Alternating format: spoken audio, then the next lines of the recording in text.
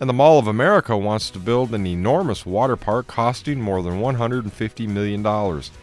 According to a presentation to the Bloomington City Council, mall owner Triple Five proposes to build a water park in a new addition to the east of the mall.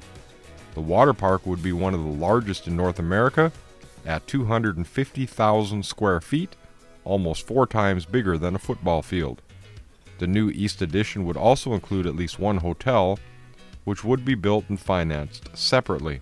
says, I want to stress this is in the very early stages, nothing is imminent, said Bloomington Port Authority Administrator Schane Rudlang. At the soonest, he said, work on the project would begin within a year. Triple Five is asking the city of Bloomington to finance the construction of the park. The city would own the project and would receive profits from its operation, and said the cities can borrow money more cheaply than private businesses. The Mall of America water park would be open to the public, unlike other nearby water parks that require users to be guests at a hotel. I am Dwayne Etienne reporting for RJBroadcasting.com.